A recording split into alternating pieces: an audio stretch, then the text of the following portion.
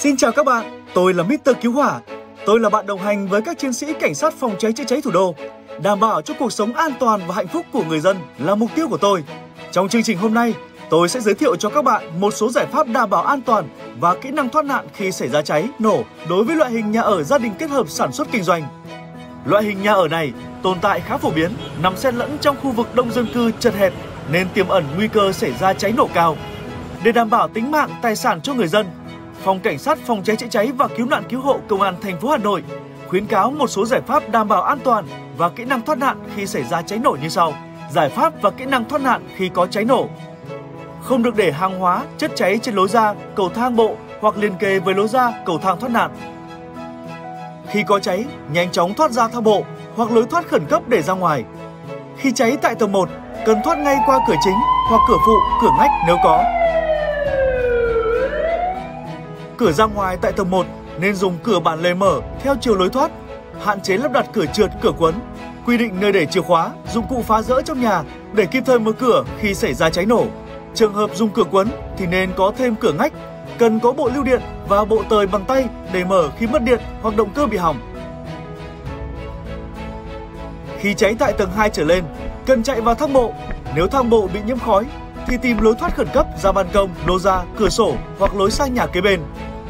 Nếu lô ra, ban công có lắp lồng sắt, cần có cửa thoát nạn và thang sắt bên ngoài hoặc trang bị ống tụt, thang dây, dây hạ chậm lắp vào thành ban công, lô ra, đảm bảo chắc chắn. Nếu cửa ở lồng sắt có khóa thì cần để chìa khóa nơi quy định. Khi cháy ở tầng 4 hoặc 5 liên kề tầng mái, nếu thang bộ bị nhiễm khói không thể chạy xuống, đồng thời không ra được ban công, lô ra thì cần chạy lên mái. Tại tầng mái phải có cửa ra. Trường hợp cửa ra có khóa thì phải để chìa khóa nơi dễ thấy và có dụng cụ để cắt phá khóa khi có cháy. Sau đó từ mái thoát sang nhà bên. Nếu nhà không có lối lên mái theo thang bộ thì phải làm thang leo có các bậc thang gắn vào tường nhà và thoát qua cửa nắp. Trên đường di chuyển phải hô hoán báo cháy cho mọi người biết. Dùng khăn ướt hoặc mặt nạ phòng độc che kín miệng, mũi để hạn chế ngạt khói khí độc. Trên đường di chuyển có nhiều khói, hãy hạ thấp người để di chuyển, tránh hít phải khói khí độc. Lần sát theo tường để đến cửa thoát nạn ra ngoài. Nếu phải băng qua lửa, hãy dùng khăn vải ướt trùm lên người. Tại các lối ra thang bộ hoặc lối ra khẩn cấp, cần lắp đặt đèn chỉ dẫn thoát nạn và đèn chiếu sáng sự cố theo quy định. Lắp đặt biển quảng cáo bên ngoài nhà phải tuân thủ theo quy định về phòng cháy chữa cháy, không được che hết mặt ban công hoặc lô ra.